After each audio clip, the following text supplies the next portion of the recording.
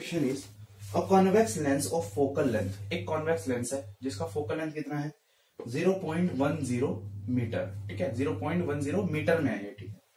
Is used मतलब हमने इस लेंस को यूज़ किया to form a magnified image एक मैग्निफाइड इमेज बनाने के लिए of an object of an object of height मतलब हाइट ऑफ़ ऑब्जेक्ट कितना है आपका? फाइव एम mm, ठीक है? फाइव ये एम mm में दे दिया। अच्छा। और ये ऑब्जेक्ट कहाँ रखा हुआ है? Placed at a distance of 0.08 meter from the lens ठीक है? चलो।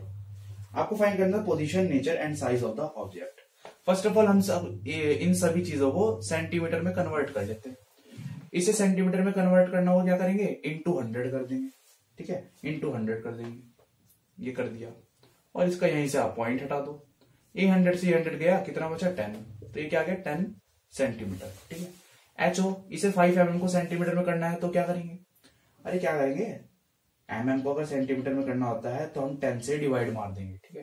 टेन से डिवाइड मार देंगे। कितना जाएगा zero point five centimeter U को अगर मीटर को अगर हमें सेंटीमीटर में करना हो, फिर से हम क्या करेंगे? इंटू हंड्रेड नीचे हंड्रेड कर देना पॉइंट हट जाएगा। ज़ीरो ज़ीरो हट जाएगी। हंड्रेड से हंड्रेड गया, क्या गया? एट का सेंटीमीटर ये आपको सब कुछ क्लियर अब देखो ऑब्जेक्ट है। ऑब्जेक्ट आपका नेगेटिव में होता है। कौन सा लेंस था ये? कॉन्वेक्स लेंस है, ठीक है? चलो, यहाँ पर लिख दो करो कॉन्वेक्स लेंस ये negative HO positive F V positive क्योंकि ये कॉन्वेक्स लेंस है। अगर आपको ये सब नहीं पता ना नेगेटिव पॉजिटिव तो आप साइन कन्वेंशन वाला मेरा वीडियो देख लेना। अब इन दोनों चीज़ों से हम वी फाइंड कर सकते हैं। तो फॉर्मूला लगाओ one upon F equals to one by V minus one by U ये लेंस का फॉर्मूला होता है।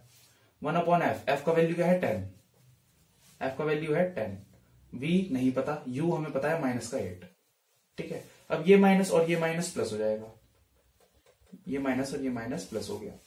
वन अपॉन टेन अब मैं वन अपॉन एट को इधर ला रहा हूँ. One upon eight equals to one by B ये सब आपका क्लियर अब जब आप इसे सॉल्व करोगे, देखो मैं सिंपल से यहाँ एलसीएम लेना एलसीएम लेके कर देना, आपका कुछ आंसर आ जाएगा minus one by forty so V आपको क्या हो गया? माइनस का फोर्टी देखो, छोटा सा स्टेप खाया, मैंने एलसीएम नहीं लिया। एलसीएम आप नाम ले लेना, ठीक है? सो वी आपका क्या गया? नेगेटिव का फोर्टी अब वी आ गया। यू आपको पता है, यहाँ से मैग्निफिकेशन फाइंड करो। देखो वी आपका नेगेटिव का आया। मतलब जो आपकी इमेज बन रही थी, वो कैसी बन रही थी? वर्चुअल ठीक है? जब कभी भी आपका इमेज नेगेटिव में हो मतलब यार, ये एक लेंस है, इधर वाली हर एक चीज़ पॉजिटिव इधर वाली हर एक चीज़ नेगेटिव और नेगेटिव में ही कौन सी आ गई? इमेज तो इमेज इधर ही बन रही है और जब इमेज इधर बनती है तो वो वर्चुअल होती है, ठीक है? अगर इमेज उधर बन रही होती तो वो कैसी आती? पॉजिटिव की और वो रियल होती, ठीक है?